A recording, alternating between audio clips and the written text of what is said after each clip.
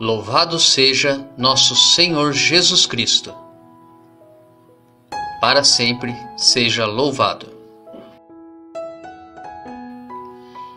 Eu e minha casa serviremos ao Senhor.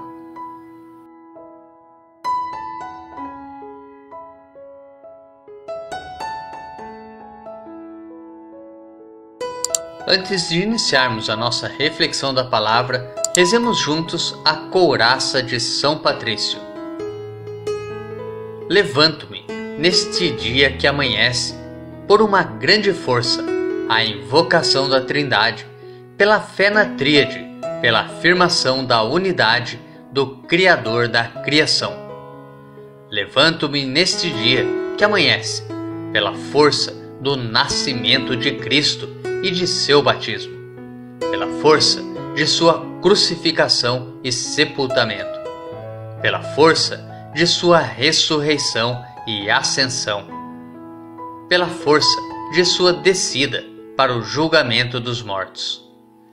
Levanto-me neste dia que amanhece pela força do amor dos querubins, em obediência aos anjos, a serviço dos arcanjos pela esperança da ressurreição e do prêmio, pelas orações dos patriarcas, pelas previsões dos profetas, pela pregação dos apóstolos, pela fé dos confessores, pela inocência das virgens santas, pelos atos dos bem-aventurados.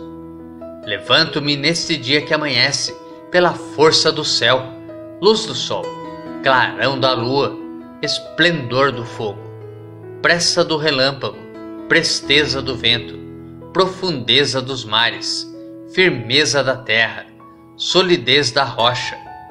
Levanto-me neste dia que amanhece, que a força de Deus me dirija, que o poder de Deus me ampare, que a sabedoria de Deus me guie, que o olhar de Deus me vigie, que o ouvido de Deus me ouça, que a palavra de Deus me faça eloquente, que a mão de Deus me guarde, que o caminho de Deus me esteja à frente, que o escudo de Deus me proteja, que o exército de Deus me defenda das armadilhas do demônio, das tentações do vício, de todos os que me desejam mal, longe e perto de mim, agindo só ou em grupo. Conclamo hoje tais forças a me protegerem contra o mal, contra qualquer força cruel que me ameace corpo e alma contra a encantação de falsos profetas, contra as leis negras do paganismo, contra as leis falsas dos hereges, contra a arte da idolatria, contra feitiços de bruxas e magos, contra saberes que corrompem o corpo e a alma.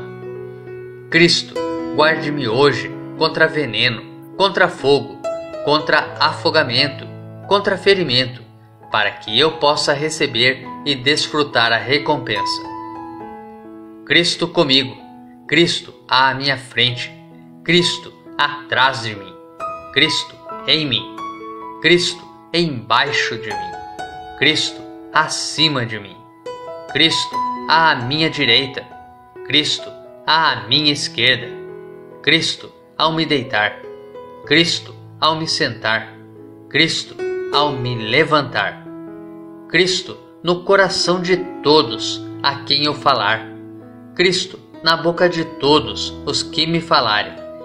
Cristo em todos os olhos que me virem. Cristo em todos os ouvidos que me ouvirem. Levanto-me neste dia que amanhece por uma grande força, pela invocação da Trindade, pela fé na Tríade, pela afirmação da unidade pelo Criador da criação. Primeira leitura. A leitura de hoje é tirada da profecia de Ezequiel, capítulo 17, dos versículos 22 ao 24. Assim diz o Senhor Deus: Eu mesmo tirarei um galho da copa do cedro do mais alto de seus ramos arrancarei um broto e o plantarei sobre um monte alto e elevado. Vou plantá-lo sobre o alto monte de Israel. Ele produzirá folhagem, dará frutos e se tornará um cedro majestoso. Debaixo dele pousarão todos os pássaros, à sombra de sua ramagem as aves farão ninhos. E todas as árvores do campo saberão que eu sou o Senhor, que abaixo a árvore alta e elevo a árvore baixa. Faço secar a árvore verde e brotar a árvore seca. Eu, o Senhor, digo e faço. Nos preparemos para a reflexão da palavra, rezando juntos o salmo responsorial, retirado do Salmo 91. Como é bom agradecermos ao Senhor. Como é bom agradecermos ao Senhor e cantar salmos de louvor ao Deus Altíssimo. Anunciar pela manhã vossa bondade e o vosso amor fiel a noite inteira. O justo crescerá como a palmeira, florirá igual ao cedro que há no Líbano na casa do Senhor estão plantados, nos átrios de meu Deus florescerão. Mesmo no tempo da velhice darão frutos, cheios de seiva e de folhas verdejantes, e dirão: É justo mesmo, o Senhor Deus, meu rochedo, não existe nele o mal. Como é bom agradecermos ao Senhor. Segunda leitura. A leitura de hoje é tirada da segunda carta de São Paulo aos Coríntios, capítulo 5, dos versículos 6 ao 10. Irmãos, estamos sempre cheios de confiança e bem lembrados de que, enquanto morarmos no corpo, somos peregrinos longe do Senhor, pois caminhamos na fé e não na visão clara mas estamos cheios de confiança e preferimos deixar a moradia do nosso corpo para ir morar junto do Senhor. Por isso, também nos empenhamos em ser agradáveis a Ele, quer estejamos no corpo, quer já tenhamos deixado essa morada. Aliás, todos nós temos de comparecer às claras perante o tribunal de Cristo, para cada um receber a devida recompensa, prêmio ou castigo do que tiver feito ao longo de sua vida corporal. Evangelho O Evangelho de hoje é tirado de Marcos, capítulo 4, dos versículos 26 ao 34. Naquele tempo, Jesus disse à multidão: O reino de Deus é como quando alguém espalha semente na terra.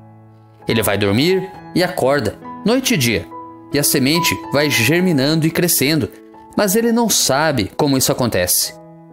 A terra, por si mesma, produz o fruto. Primeiro aparecem as folhas, depois vem a espiga e por fim os grãos que enchem a espiga. Quando as espigas estão maduras, o homem mete logo a foice, porque o tempo da colheita chegou. E Jesus continuou: Com que mais poderemos comparar o reino de Deus? Que parábola usaremos para representá-lo? O reino de Deus é como um grão de mostarda, que ao ser semeado na terra é a menor de todas as sementes da terra. Quando é semeado, cresce e se torna maior do que todas as hortaliças, e estende ramos tão grandes que os pássaros do céu podem abrigar-se à sua sombra. Jesus anunciava a palavra usando muitas parábolas como estas, conforme eles podiam compreender. E só lhes falava por meio de parábolas, mas, quando estava sozinho com os discípulos, explicava tudo. Reflexão: A belíssima parábola de Ezequiel anuncia tempos novos. Ao povo cativo, no exílio, é anunciada a vida plena e o soerguimento da nação. A imagem da planta é largamente utilizada no Primeiro Testamento como sinal do cuidado de Deus para com seu povo escolhido. Ver Salmo 80 e Isaías 5. Deus ama seu povo e cuida dele como um jardineiro cuida de suas flores preciosas. Ele quer que seu povo viva e o louve constantemente, porque a vida deve estar alicerçada na alegria. São Marcos, na parábola que só aparece em seu evangelho, descreve com beleza incomparável o significado da esperança. Quem confia em Deus sabe verdadeiramente sobre o tempo. Não adianta os acontecimentos, mas confia naquele que cumpre as promessas outrora feita aos nossos pais. Esperar o tempo da semente é semelhante a esperar o tempo de Deus. Quem age assim colherá frutos de justiça, de paz e de alegria duradouros. Mas e quanto a nós?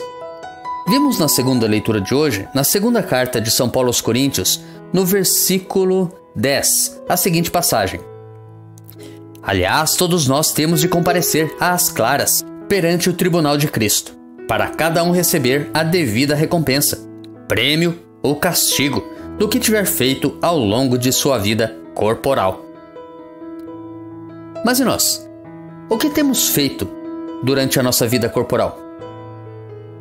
Temos procurado ajudar nosso próximo? Temos procurado agradecer a Deus, como o salmista de hoje?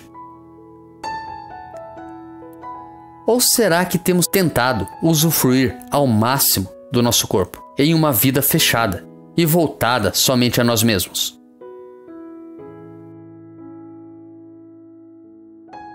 Reflita. Tenha um santo e abençoado dia.